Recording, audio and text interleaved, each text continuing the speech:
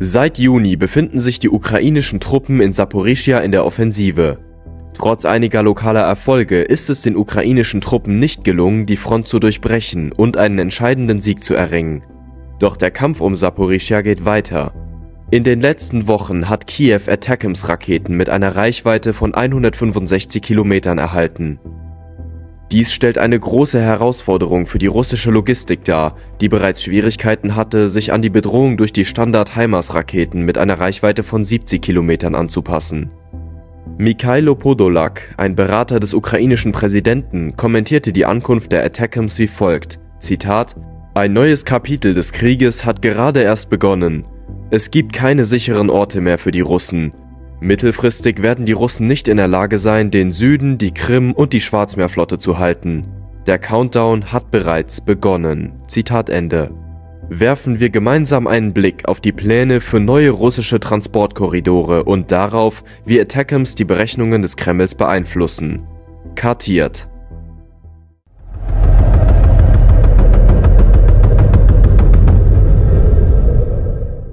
Seit dem Beginn der Invasion in der Ukraine stehen die Russen vor enormen logistischen Problemen.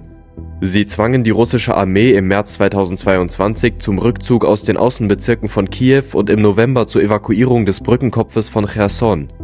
Die Logistik ist für Moskau umso schwieriger, als die russische Armee vollständig auf den Schienenverkehr angewiesen ist. Besonders deutlich wird diese Abhängigkeit an der Südfront, diesem Thema haben wir ein umfangreicheres Video mit dem Titel Fragile Logistik – Russlands Schwachpunkt in Saporischia gewidmet. In dieser Folge von Kartiert wird dieses Material mit den neuesten Ereignissen aktualisiert. Im Juni starteten die Ukrainer ihre lang erwartete Offensive in Saporischia. Trotz des Einsatzes beträchtlicher Kräfte und mehr als viermonatiger Kämpfe hat die Offensive den Ukrainern nur sehr begrenzte Erfolge beschert. Tatsächlich wurden nur in zwei Sektoren größere Fortschritte erzielt, in der Nähe des Dorfes Robotin und in der Nähe des Dorfes Velka Novosilka. Dies waren nur lokale Erfolge, die nicht zu einem Durchbruch entlang der Front führten. Die Bodenoffensive war jedoch nur ein Teil einer umfassenderen ukrainischen Operation an der Südfront. Parallel dazu startete Kiew einen intensiven Angriff auf das russische Hinterland. Ziel war es, wichtige Straßen- und Eisenbahnverbindungen zu zerstören und so die Logistik des Gegners lahmzulegen. In dieser Zeit wurde die Krimbrücke zweimal von der Ukraine angegriffen, zuerst im Juli und dann im August. Ein Teil des Straßenabschnitts der Brücke stürzte ins Meer, aber die Brücke wurde nicht vollständig zerstört. Auch die ukrainischen Angriffe auf die Brücken über den See Sivash, die die Krim mit der Region Cherson verbinden, waren nur zur Hälfte erfolgreich. Die Eisenbahnbrücke über den Sivash wurde nur einmal Ende Juli erfolgreich angegriffen, aber der Schaden war minimal. Die Russen führten rasch Reparaturen durch und die Züge mit Kriegsmaterial aus Russland fuhren wieder nach Saporischia. Obwohl es den Ukrainern gelang, einige der Straßenbrücken über den Fluss Sivash zu beschädigen, waren die Auswirkungen auf die russische Logistik also minimal. Die Russen errichteten rasch mehrere Pontonbrücken, die sich angesichts des flachen und engen Wassers des Sivash als ausreichend für den Transport von Versorgungsgütern erwiesen. Anfang Oktober, nach vier Monaten schwerer Kämpfe, sah die Lage an der Saporischia-Front für die Ukrainer düster aus. Zwar war es ihnen gelungen, in einigen Abschnitten einige Kilometer vorzurücken, doch das stark befestigte Gelände führte dazu, dass die lokalen ukrainischen Erfolge nicht zu einem Durchbruch an der Front führten. Auch die Angriffe auf das russische Hinterland waren nur von begrenztem Erfolg gekrönt. Die Ukrainer machten den russischen Nachschublinien zwar das Leben schwer, legten die russische Logistik aber nicht lahm. Die Ukrainer werden ihre Angriffe auf Saporischia in den kommenden Monaten sicherlich fortsetzen, aber die erste Runde der Schlacht um Saporischia haben die Russen gewonnen. Moskau ruht sich jedoch nicht auf seinen Lorbeeren aus. In den letzten Monaten wurden auf russischer Seite der Front intensive Befestigungsarbeiten durchgeführt. Bestehende Befestigungen werden ausgebaut und neue Befestigungslinien tief in der Frontlinie errichtet. Die Befestigungen sollen das Vorrücken der ukrainischen Armee verlangsamen und ihr Potenzial für weitere Offensivoperationen brechen. Die Russen bauen jedoch nicht nur Befestigungen.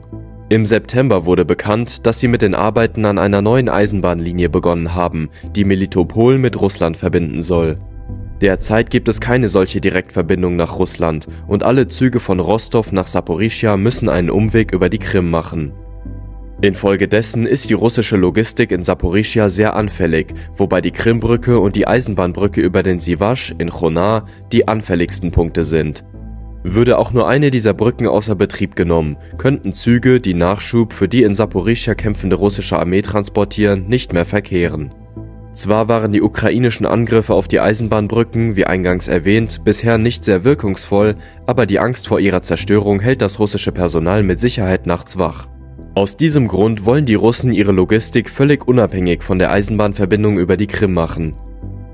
Ukrainischen Geheimdienstinformationen zufolge wollen die Russen eine neue Eisenbahnlinie bauen, um eine direkte Verbindung zwischen Rostov und Saporischia herzustellen.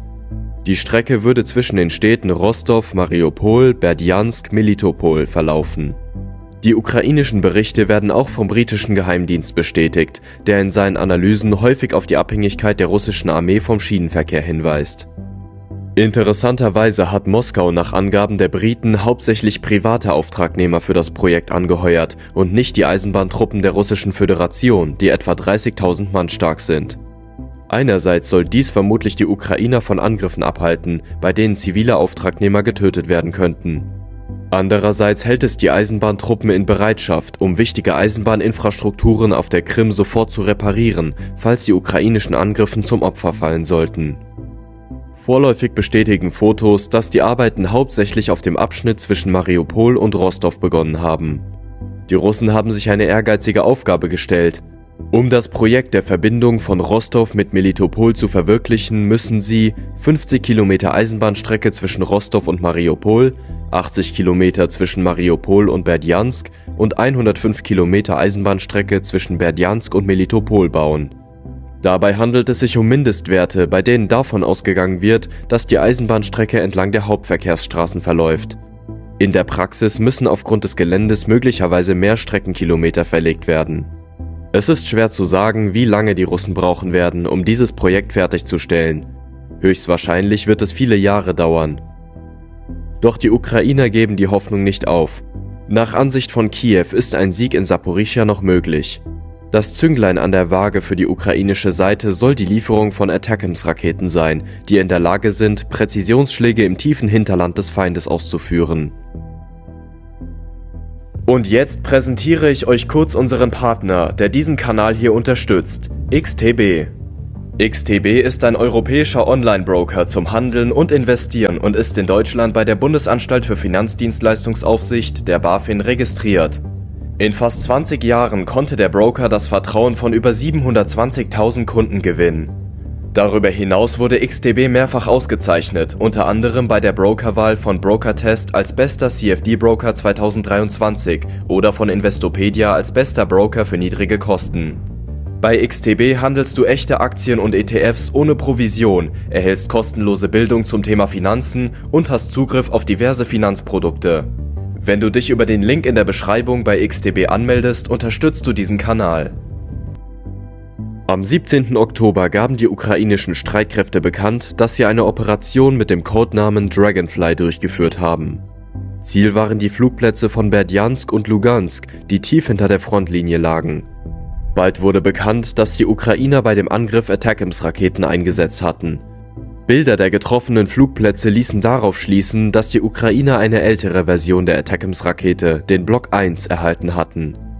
Diese Raketen haben eine Reichweite von etwa 165 Kilometern und einen Gefechtskopf mit 950 M74 Submunition. Die Operation Dragonfly war ein voller Erfolg. Satellitenbilder bestätigten die Zerstörung oder Beschädigung von bis zu 21 russischen Hubschraubern auf den Flugplätzen von Berdjansk und Lugansk. Dies sind einige der größten Verluste, die die russische Luftwaffe seit Beginn des Krieges erlitten hat. Es ist kein Zufall, dass die Flugplätze von Berdjansk und Lugansk der Operation Dragonfly zum Opfer fielen. Die auf diesen Flugplätzen stationierten Hubschrauber spielten eine Schlüsselrolle bei der russischen Verteidigung von Saporischia. Sie fungieren als eine Art Feuerbrigade. Wann immer die Ukrainer an irgendeinem Abschnitt der Front begannen, tief in die russischen Stellungen einzudringen, riefen die Russen sofort ihre Hubschrauber herbei und zwangen die Ukrainer zum Rückzug. Die Ankunft von Attackams-Raketen in der Ukraine erschwert den Einsatz von Hubschraubern zur Verteidigung von Saporischia. Dies bedeutet nämlich, dass die Hubschrauberstützpunkte aus der Reichweite der Attackams verlegt werden müssen. Dadurch verlängert sich wiederum ihre Reaktionszeit.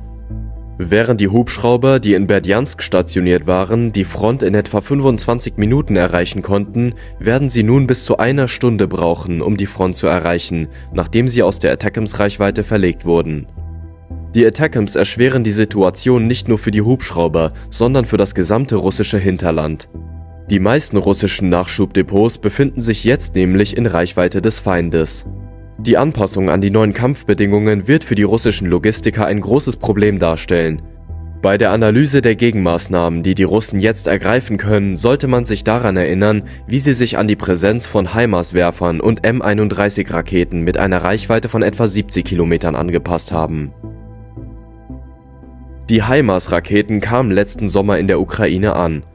Zusammen mit ihnen erhielt Kiew auch M31-Raketen mit einer Reichweite von etwa 70 Kilometern Kurz darauf begannen die Ukrainer mit intensiven Angriffen auf feindliche Nachschubdepots, die die Russen unvorsichtigerweise sehr nah an der Frontlinie platziert hatten. Die Russen folgten dem Weg des geringsten Widerstands und evakuierten einfach alle wichtigen Nachschubdepots aus der Reichweite der HIMARS-Werfer. Dadurch verlängerten sich die russischen Nachschublinien, aber ihre Logistik wurde nicht lahmgelegt. Die Ankunft der Attackams-Raketen stellt jedoch eine viel größere Herausforderung dar. Obwohl die Ukrainer eine ältere Version der Attackams Block 1 Rakete erhalten haben, ist diese immer noch in der Lage, Ziele in einer Entfernung von 165 Kilometern zu treffen. Das bedeutet, dass der gesamte Donbass, Saporischia und sogar der nördliche Teil der Krim nun Ziele für präzise ukrainische Raketenartillerieangriffe werden könnten. Russische Nachschubdepots in Reichweite des Attackams Block 1 sind nicht sicher und sollten so schnell wie möglich evakuiert werden. Dies bedeutet jedoch, dass sich die Länge der russischen Nachschubwege mehr als verdoppeln wird. Einzelne Konvois werden hunderte von Kilometern zurücklegen müssen, um die Kampftruppen zu versorgen.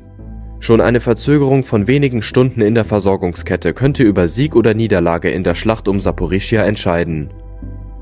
Kiew hofft, dass die Attackams-Raketen das Gleichgewicht des Krieges zugunsten der Ukraine verändern werden. Doch das ist alles andere als sicher. Medienberichten zufolge haben die Ukrainer nur eine sehr geringe Anzahl von Attackams-Raketen erhalten. Einige Quellen berichten von nur 20 Raketen. Vielleicht handelt es sich nur um die erste Lieferung und die Ukrainer werden bald weitere Lieferungen erhalten. Möglicherweise umfassen die neuen Lieferungen dann Attackams Block 1A Raketen, die Ziele in 300 Kilometern Entfernung treffen können. In dieser Ungewissheit müssen die russischen Planer operieren. Theoretisch könnte schon ein einziger Attackams Block 1A Raketenschlag auf ein Ziel, das mehr als 200 Kilometer von der Frontlinie entfernt ist, die Russen zwingen, sich weiter auf wichtige Lager und Konzentrationsstätten zurückzuziehen.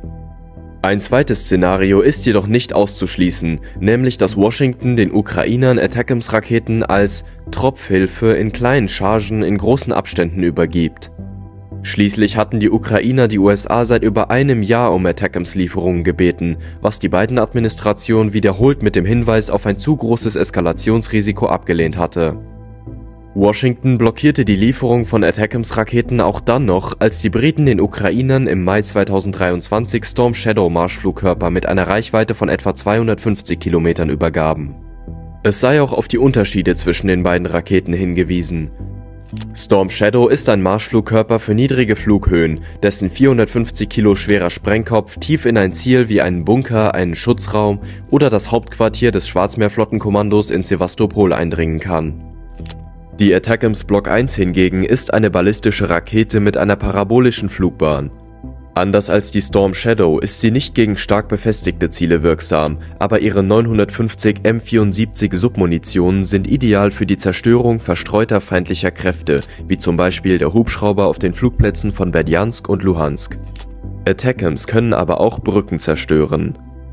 Dazu müssten die Amerikaner Kiew mit Raketen der Variante M48 mit einem einzigen 230 Kilogramm Sprengkopf oder mit GLSDB, einer de facto in eine Rakete umgewandelte Bombe mit einer Nutzlast von 100 Kilogramm beliefern. Es wird erwartet, dass Kiew die letztere Variante noch in diesem Winter erhält. Mit anderen Worten, die Ukrainer waren zwar bereits in der Lage, den Feind in einer Entfernung von mehr als 160 Kilometern anzugreifen, aber sie waren nicht in der Lage, große verstreute Gruppen in einer solchen Entfernung zu vernichten. Das Auftauchen von Attackams in der Ukraine stellt somit ein großes Problem für das russische Personal dar. Die Munitionsdepots müssen tief in die Frontlinie verlegt werden, was wiederum die Nachschubwege verlängert. Außerdem werden die Ukrainer mit Sicherheit die strategische Eisenbahnbrücke bei Chonar über den Siwasch ins Visier nehmen, sobald sie die GLS-DB-Raketen erhalten haben. Es ist wichtig zu verstehen, dass die Attackams keine Wunderwaffe ist, die die Russen in diesem Winter auf magische Weise besiegen wird. Regelmäßige und präzise Angriffe auf das russische Hinterland können das Potenzial des Gegners jedoch schrittweise schwächen, seine Logistik lahmlegen und den Boden für eine weitere Schlacht an der Saporischia-Front bereiten, die wahrscheinlich im nächsten Jahr stattfinden wird.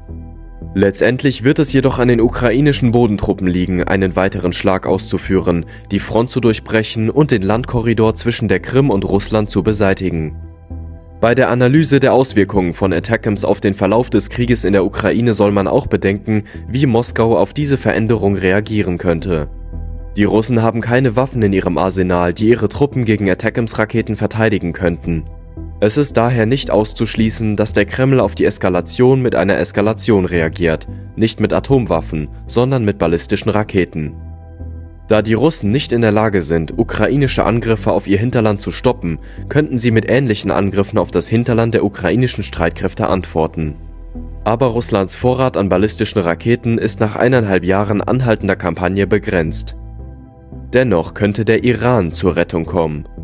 Am 18. Oktober 2023 läuft das iranische Exportverbot für ballistische Raketen aus, das auf der Resolution 2231 des UN-Sicherheitsrats beruht. Der Iran kann dann legal mit dieser Art von Waffen handeln. Dies ist wichtig, da der Iran über ein hochentwickeltes Programm für ballistische Raketen verfügt und die Russen bereits mehrfach ihren Wunsch bekundet haben, iranische Raketen zu kaufen.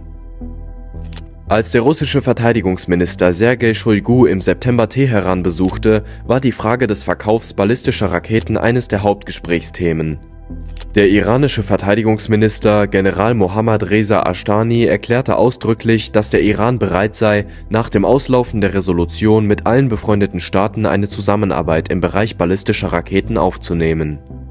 Es könnte also sein, dass die Lieferung von Attackams-Raketen tatsächlich eine neue Etappe im Krieg zwischen der Ukraine und Russland einläutet. Sie wird aber nicht nur durch die Aushungerung der russischen Logistik, sondern auch durch den verstärkten Einsatz ballistischer Raketen, amerikanischer auf der einen und iranischer auf der anderen Seite, bestimmt sein. Das war eine Folge unserer Kartiert-Serie. Wenn dir dieses Video gefallen hat, dann kannst du Good Times Bad Times jetzt abonnieren. Dann verpasst du in Zukunft keine weiteren Videos mehr über die Entwicklungen in der Ukraine. Vielen Dank fürs Anschauen und bis zum nächsten Mal.